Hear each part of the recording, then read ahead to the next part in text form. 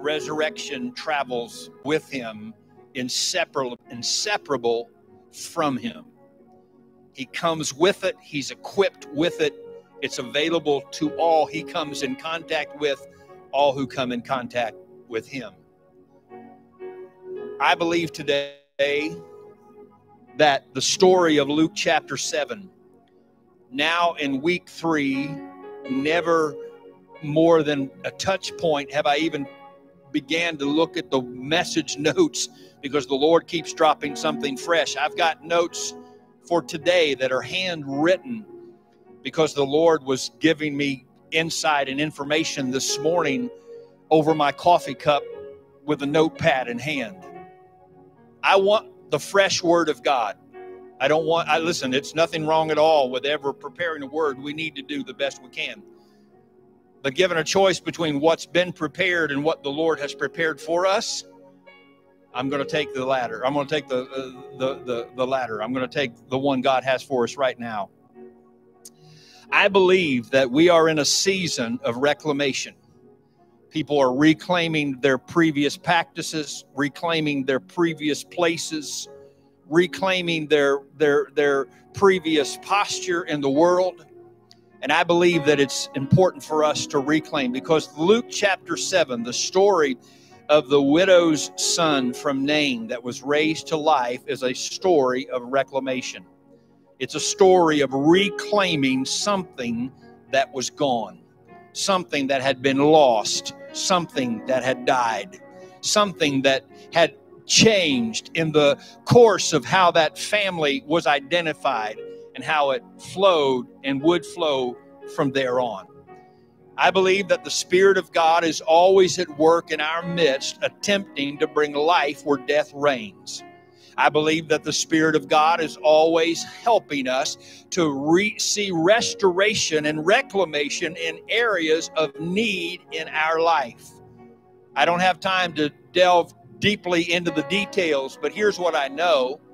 With this young man gone, this woman who had already suffered the weight of now being a widow was about to face the rest of her life or at least a portion of her life until something else changed, in the absence of any type of covering.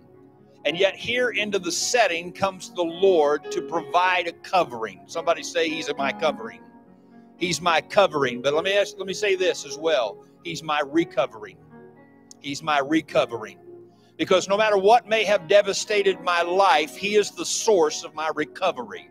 I may have lost it, but it can be recovered. We have ample stories of Jesus illuminating and illustrating the idea that the lost coin can be found, that the lost sheep can be found. Amen. That the lost prodigal son can be found. He is about reclamation. He is about reclaiming. He is about restoring. He is about renewing. He is about all of these things.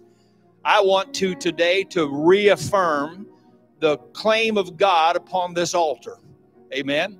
I want to reclaim the call and the and the and the intent of God upon this congregation. I want to reclaim and reconnect with the reality of God's call upon our hearts to be a part of a great commission. I want to reclaim today and ask the Lord to bring restoration to the heart of the believer that we might, in fact, love the Lord, love our neighbor, and love ourselves. Amen. That whatever may have died in us can be revived in us as is necessary. As I look at this story, I can't help but to think about various factors and various elements. And there's a lot that we don't know that is occurring in this setting. We don't know what killed this young man. It could be that his mother's heart is triple grieving because she is a widow with no covering. She is a she is a mother who's lost a child. I can't I, I've lost my father, I've lost my brother, but my mother has lost her husband and her sons. And how she continues, she will only lay claim to the fact that her only hope has ever been found in the recovery that the Lord brings, the restoration and the stabilization that comes from the Lord. And I like that because in this picture, we see Jesus approach uh, uh, this funeral procession. And at one point, he stills it. And you know what that means to me? He stabilizes a fluid situation that could go either way. When Jesus steps into the scene, he brings change with him. He brings resurrection with him because he is resurrection. He brings love with him because he is love. But he brings stability with him because our God is the God who never changes. Our God is the God who never moves. He never flinches. He sits on the side of the north, and no matter what happens around him, there is no shadow of turning in him because he's stable. And when you are being tossed and turned by the waves and the torment of the sea, the one thing that the, the captains would look to before navigational equipment was ever digitized is they would find that one immovable element of the sky, which was the North Star, and they would set their course and compass upon that one immovable object. I'm here today to tell you that the proverb writer and the psalm writer said that He is God who sits on the side of the north. His throne is established, and it is moved. Amen. And we can look to Him in every hour of any situation, and we can find Him faithful and faithfully remaining stable. And we live in an unstable moment, but I believe that our stability is found in the Lord. I've listened to this side and that side, the left, the right, the blue, and the red. And I'm going to tell you, neither one has the answer because the only answer lies in the middle where truth exists without bias. And it's in Christ that we have hope and we have help. Amen.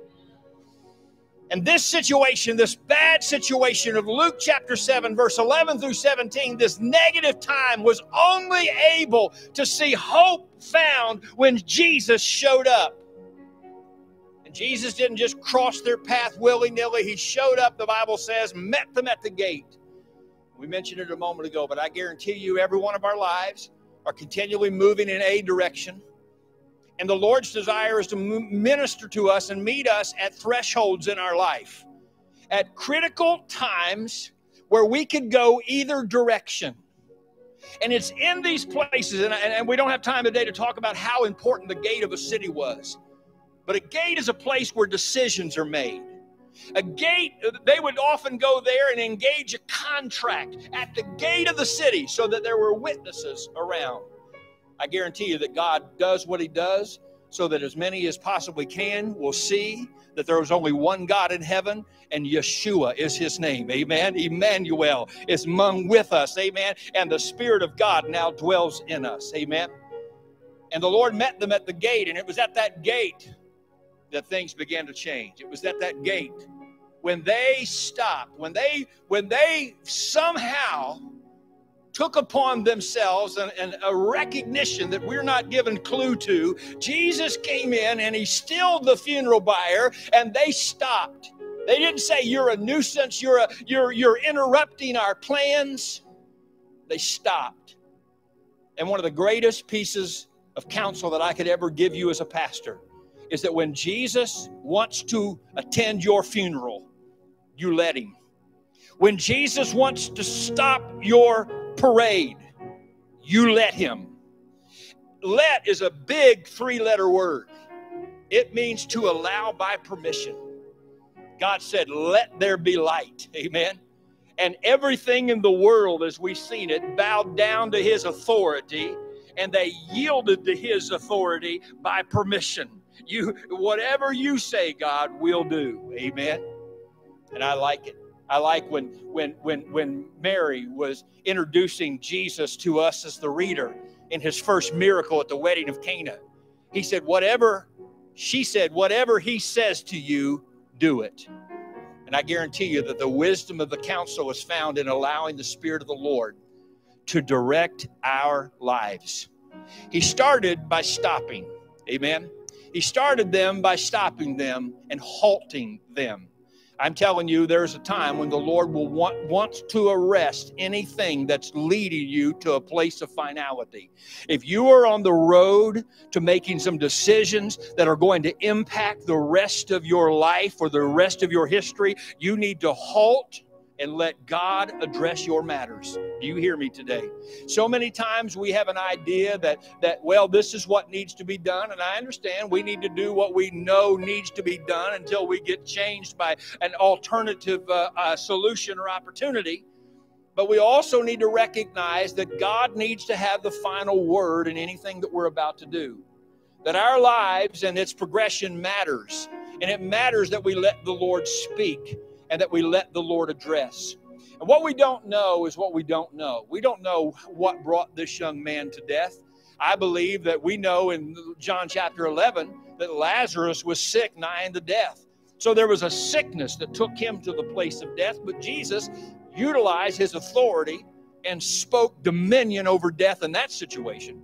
But what we don't know about this one is what took this young child down. Could it be that his mom's sorrow is triplicated? She's lost a son, she's lost a covering, but maybe she lost that son to some bad decisions that son was making about his life. Maybe, maybe he, he died of a drug overdose. Maybe he was murdered in a, in a deal gone bad. Maybe he was robbed and it was a situation where his life was taken from him in all of its innocence by other people. And now, not only did she have to bury her son, but she might have to bury uh, uh, the, the necessity uh, to, to uh, she may be burying in her heart the, the willfulness to even forgive. So now she may have a compounded problem because she's burying a son, but she has to live with unforgiveness. Do you hear me? Uh, what I'm saying is, there are a lot of things that can kill us. And there are maybe a lot of reasons for us to be bitter and angry and sorrowful and have no hope. But Jesus changes all that. Jesus can come into any situation, scenario, or setting and bring what he brings to the table, or into this case, the, the, the, the funeral procession. And he can bring life, he can bring change, and he can bring, he can alter the outcome. Somebody say, alter the outcome. And that's what I love about the Lord we serve. I believe God is able to alter the outcome. No matter where you may be right this minute, if you will allow the Spirit of the Lord to speak to it, allow Jesus to address it, God can change it. Amen. No matter what may have caused your sorrow, the Lord can heal it. Amen. And and no matter what may have caused your heart to ache, the Lord can heal that too. There is so much happening in this picture because when Jesus speaks to this, and, and, and, and the message that I hastily tried to write out in response to the direction I sensed from the Spirit is that Jesus can revive us. And I believe that today. I believe that Jesus, so I, I just declare revival in these altars. I declare revival in these in this in this in these pews. I declare revival in this house. I, I declare revival in our community. But more so, the greatest link between this house and that community is your heart. And I declare revival in your heart. But that's only something you can allow the Lord to stop you in. That's the, that's I can declare it all day. I can want it all day. But it will only be you who makes the decision. Will you stop and allow the Lord to address that which is dead in your life? Do you hear me today? This is a pastor crying out to his congregation, crying out and hearing the sound of his own voice, knowing it applies to me as well. Will you let the Lord speak to whatever's dead in you today so that he can return it to you? And I want you to say that with me the word return. Say that with me return. Let's say it one more time return. You know what? Think about the word return. Return means that it turned one way, and now the Lord is returning it another way. What has turned in your life? What has turned in your setting? The Lord can return that in a direction that adds to it life and health and wholeness. Amen. It may have, your life may have turned one way, but the Lord can return it another way. And I'm thankful for that today because what this woman thought she had lost, Jesus had come by to restore. Jesus had come by to return, not to return it to whatever status it existed in that led to death before. If this child was shot in a drive-by or this child was killed by his own hand or this, chi- this child had, had, had died from some other nefarious means or illness he wasn't returning it back to that he was returning it back to life life in its purity, life in its uh, uh, its clarity, life and all that offered and promised hope with it. I'm here today to say that I believe that the Spirit of God is able to do more than we can imagine because who would have imagined starting that day carrying that corpse that you would have gone home arm in arm with that same child you were ready to release? I'm telling you today, I wish, I wish that the Spirit of God would say by prophetic utterance and, and, and unction that this is a story of America, that somehow America is going to be revived and returned to the mothers of its own history. And I, but I'm going to tell you something today. I haven't heard that word. Doesn't mean it won't happen.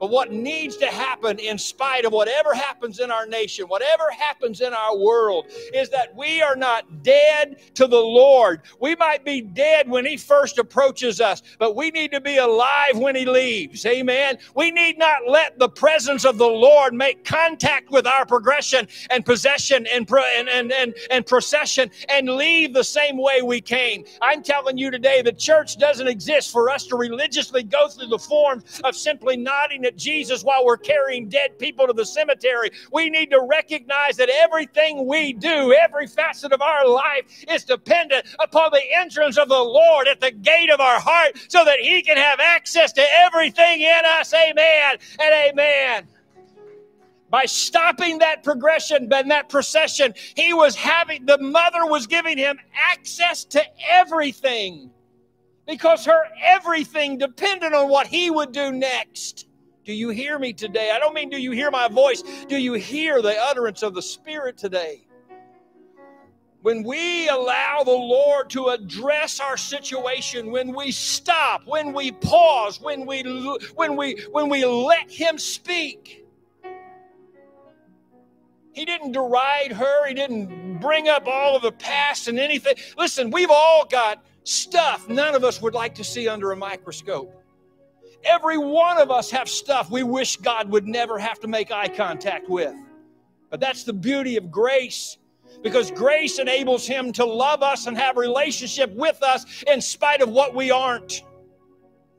And grace enables him to stop at an unknown uh, uh, funeral procession. Nothing about this scenario reveals to us anybody recognized him, knew him personally. Jesus stopped at random in this situation and began to address a matter. And I'm going to tell you something today, whether you like to believe it or not, and I'm sure it doesn't matter to you in the sense that you don't mind it, that God is at work in the lives of unbelievers to draw them to Him. Do you understand something? God is gracious even to those who yet to have faith. God is moving kindness towards people who have yet to meet Him because He wants to reveal Himself to them. I'm thankful today that God is able to reach into the lives of people. But listen to me, that doesn't mean that we sit in the pew, celebrate God, and let Him do the hard labor. No man can call Him Lord but by the Spirit. That you and I have a responsibility. You know what? You and I are, are like those people carrying that dead body in some respect. And we need to let the Lord address our matters. We need to let the Lord speak to us today. Because when He does, He gives us something to say. Jesus speaks first, and we speak afterwards. Do you hear me today? He spoke first, and then the boy raised up and began to speak. And then we see that was verse 15. And verse 17, we see that after that, the people went out and began to speak. Do you understand? That Jesus is the seed of everything good.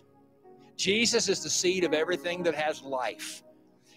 Jesus spoke. He was that seed. He spoke life. That boy got up. What do you think he got to talking about? Man, you ought to see what I saw when I. He began to speak life. He's a, his speaking began to reveal that he's alive. Amen. He didn't just get up like some zombie. He spoke. Why? Because the Lord doesn't just heal you a little bit. He heals you all the way. We just read in verses 1 through 10, the latter part in verse 10 said that the servant of the centurion was made whole, W H O L E. Amen. The enemy would like to push you in a hole, H O L E. He would love to push you into the grave, which is a hole, H O L E. But Jesus wants to lift you up and make you whole, W H O L E. Amen. That's the Jesus we serve. That's the God we serve. And the Lord is after our best because good enough is not good enough. He wants our best. You don't bring a lamb from the offering that's good enough, you bring the best according to the Word of God. You don't just offer to the Lord any old thing you grab along the way. You've got to search through and allow that, that to be given to God. Our death serves no real honor to God if we die with dishonor, so to speak. But our life can be lived to the glory and honor of God so that when we pass, we leave a legacy of His glory and honor.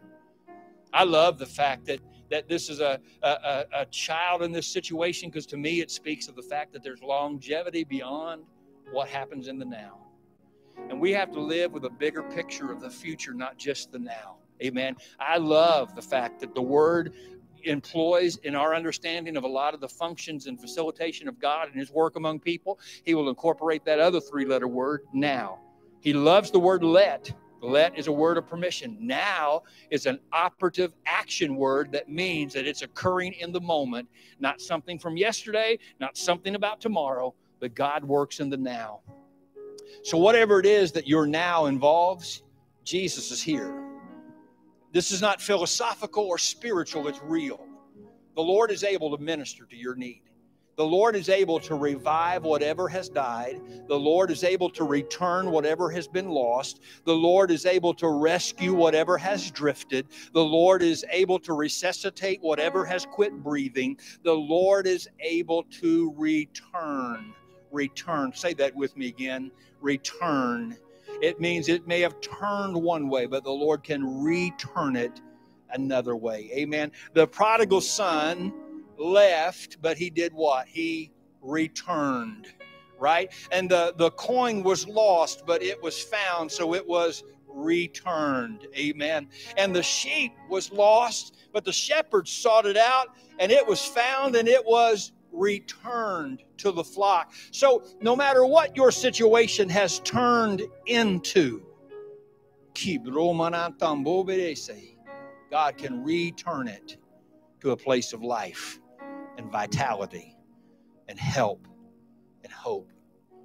I want the Lord to return not to the time of Leave It to Beaver and Andy Griffith, even though none of those are lacking in any desire and, and admirability. I'd love a simple, peaceful time.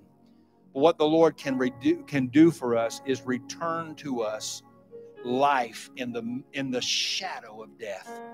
No matter what has occurred, no matter where we may be as a nation in our own history, the Lord is able to return. What does the church need to return to? A place of vitality in the community where we are allowing the Spirit of the Lord to flow through us as vessels that we are operating inward to care for those that are a part of our canopy of covering, and we are also concerning ourselves with the needs found outside of our four walls. Do you hear me today?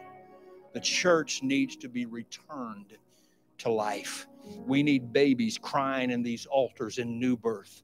We need deliver we, we, we, we need we need postnatal care given to disciples as they're being nurtured and suckled on the word of God. We need a return to a place where we are not simply doing things for our own benefit, but we are giving ourselves fully to God. I can't look in the book of Acts and not stop at the at, at the at the portion of the museum that reveals the story of Stephen a man full of the Holy Ghost who didn't say, Give me a platform and a microphone and, a, and a camera so everybody can see how great I am. We see, we get a glimpse into Stephen's life, a man so full of the anointing of God that when people heard him preach, they clasped their ears and gnashed on him, and the only thing they wanted to do was silence him. Can I tell you today that the enemy wants to silence the anointing in your life? As a matter of fact, He wants to kill the anointing in your life. He wants to kill you so dead that there are that, that, that, the angels of heaven, if you will, are weeping over the loss of what could be a voice in the world today. The enemy would love to silence you, but here's Stephen. Rather than being the spotlight and the limelight in everybody's life, he's out washing down tables. He, he, he's he's COVID 19 proofing them so that other people can sit down and eat. Yet when he speaks, there's such an anointing upon him. Can I tell you, there's an anointing to publicly declare, but there's an anointing upon each of us to live out the life of Christ, to give out the love of Christ, and to be about the business of lifting Christ. Amen? And that's what Stephen did. And it cost him his life. We need to return to a place where our life is not ours Monday. We don't get to do what we want for what we want. We do what He wants for what He needs and desires.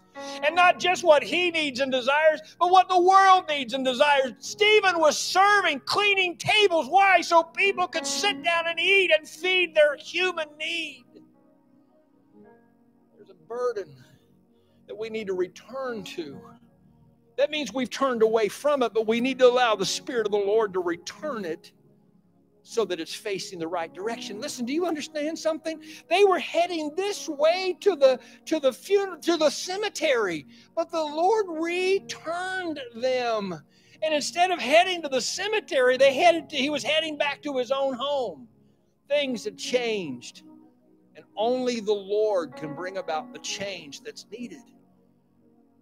We don't know what killed this young man, but I assure you, when he was raised to life, that didn't have power over him anymore. Do you understand that? That when you come back to life under the canopy of God's calling you back to life, you don't reclaim where you started from right before you died. You come back in a wholeness that only God can provide. And I believe that today. I want you to stand with me to your feet. And I may want us to worship. Go ahead and sing some worship here in a minute. We won't broadcast that. But I want us today to allow the Spirit of the Lord to speak to our heart and our life. I want your faith today to be energized. Do you know why it's important to let Jesus speak? Because the Word of God, it is revealed to us that the Word of God is alive, right? And the Word of God is also powerful. Amen. And the Word of God, listen to me now. Here's what Scripture says about it it is able to quicken your mortal body. That means give life to your dead body. Amen. It's important to let Jesus speak because His words bring life.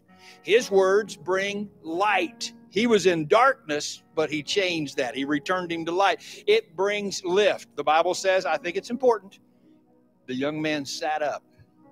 The Lord is able to lift us out of whatever may have killed us. God can change us, and the Lord can return us to where we were living and functioning again. Can you hear me? Listen to me. Listen to me. The Spirit of God wants us to not only live, but to function in the roles that we're called to, in the places of authority that we're made to operate in. This young man, I, I said it last week and I'll say it again. We see that she, he was her only son. Doesn't mean that this was her only child. She may have had other mouths to feed, other things to think about. God cares, listen to me, God cares about every facet of your life.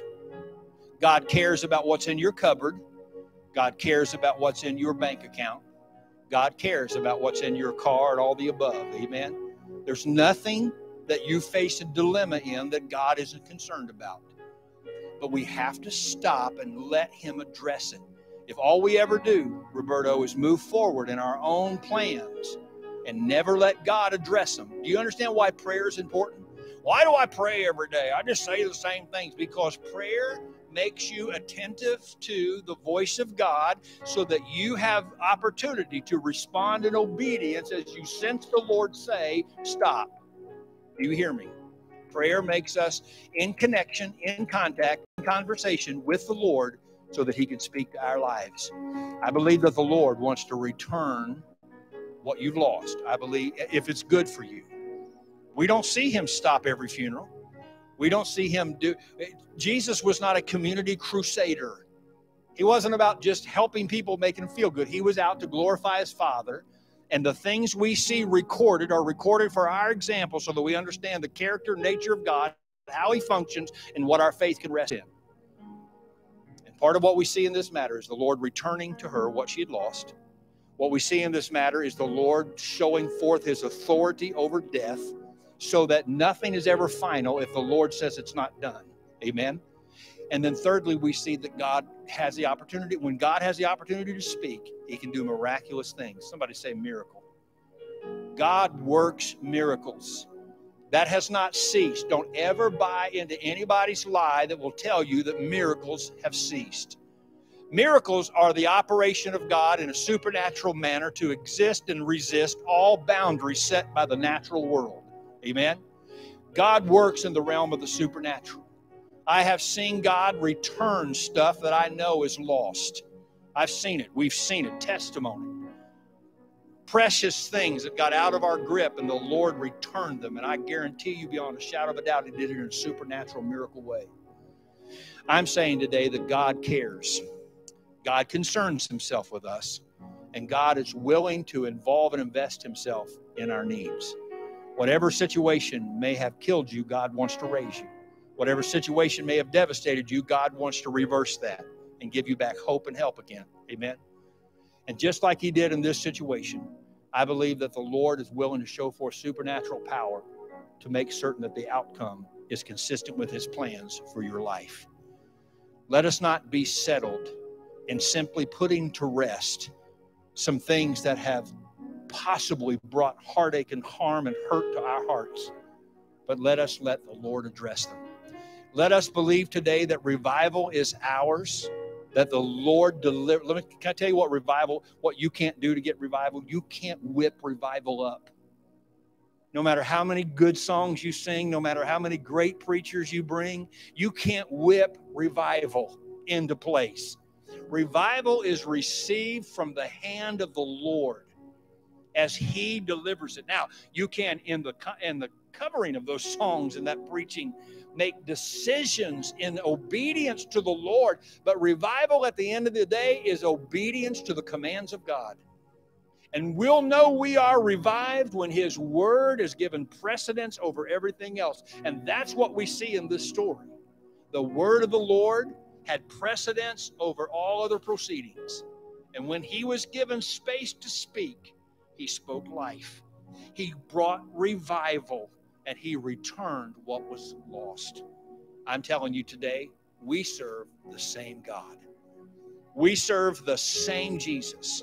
And what he did for this widow at Nain in Luke chapter 7, verses 11 through 17, he'll do for you and I.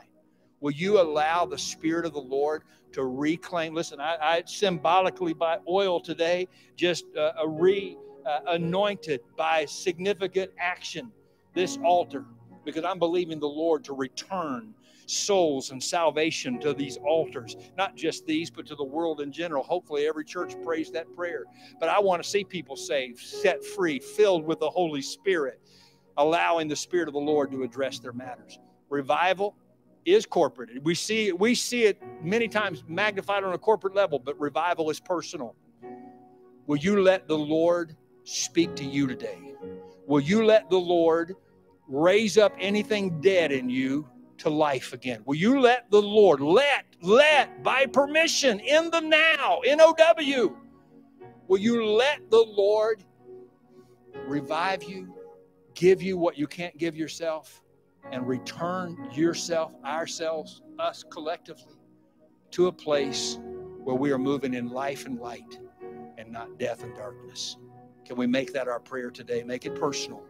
Father, in the name of Jesus, we ask you to minister to every heart and every life in every way. And God, we ask you to cause restoration to occur in the heart and the life of the believer who will pause and allow you to address their situation. God, we pray that you will move through the cloud and the clutter and the darkness and the fog. And God, that you will cut through all of that and by your Spirit uh, speak to the heart of the hearer today so that in spite of all the words that have been used and all of the analogies that have been given, God, there is a clear cut call from your lips to their ears. And God, it speaks to them about revival and returning, resuscitation, and reclamation. Father, I pray, let our hearts seek revival. Would you make that your prayer right now? Would you just say, Lord, revive me, O God? Revive me, O God. Restore to me the joy of thy salvation. Restore to me the joy of thy salvation. Lord, today in Jesus' name, say it with me I reclaim life. I reclaim love. I reclaim light. I reclaim lifting. I'm going to be, verse 17, I am going to go out and share firsthand the lifting of Jesus Christ as the Son of God, the prophet among us, the one sent from the Lord. He is Emmanuel. Lord God, revive me. Would you make that your prayer? Lord God, revive me, restore me, renew me, God, and return me in the direction that I need to move towards life. Let there be a return, a reclamation, a revival, a revival, a revival, a revival, a revival, Lord, that comes from your hand, that comes by your word, that comes by your power, that comes by your willfulness to get involved in our matters. If the mother is a significant picture of the church, let this offspring be returned with life, God. Let, there, let, the, let this offspring be returned with life and vitality, God. And let it signify the revival of a generation and a restoration of what's been lost. Father, we release everything that is a part of our past and can hold us back if we allow it. Whatever brought us to this death, we turn our back on it so that we might fully embrace the life that Christ brings, gives, bestows, releases, and provides.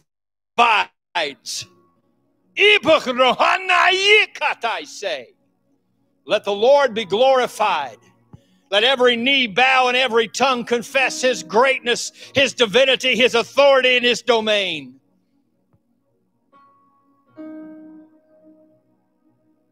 Let the winds of revival blow across the face of the landscape of our heart and our church. And let it remove the chaff that may have built up over time so that the pure seed remains so that a harvest can come. Lord, reduce the weight of all things unnecessary, that we might be lean, and that we might be strong, and that we might have vitality to lay hold and grasp that which is ahead of us. Father God, we make ourselves available to your voice. Declare revival today, declare return today. Return, God, return, return us, return us, return us. No longer facing the cemetery, let us go home and continue on until the day that this whole thing is over. Father, we love you today. We make access, we make available ourselves, giving access to yourself that you may say, speak, and do in our midst as you would say, speak, or do in our midst. And God, today we give you the praise and the glory and the honor. In Jesus' name, amen and amen. Can you give him praise in this house today? Amen and amen and amen. I want I want our worship team to come. I want us today. Well, I don't, what time is? Somebody tell me what time it is.